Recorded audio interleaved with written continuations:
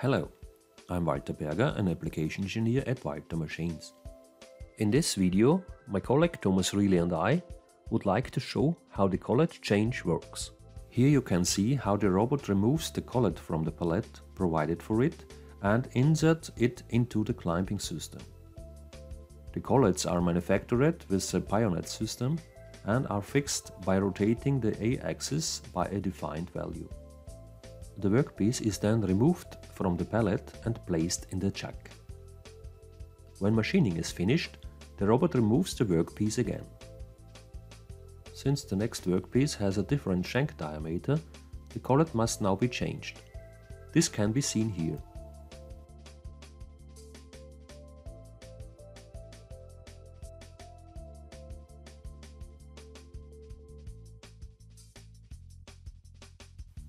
Then the blank with a different diameter is inserted and machined.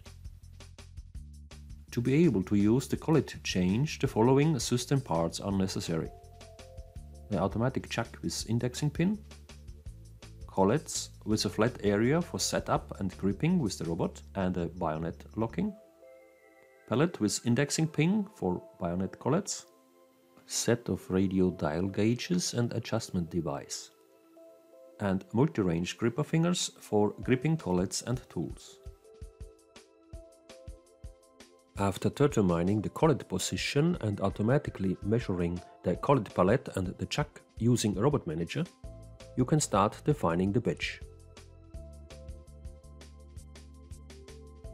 The collet pallet and the collets inserted in it must be defined once.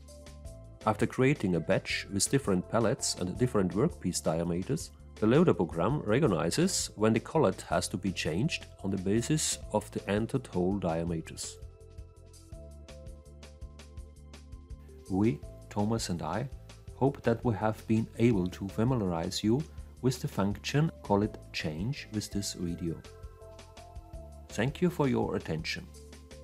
You can find more information about our machines, software, training and customer care on our homepage. Visit us again soon.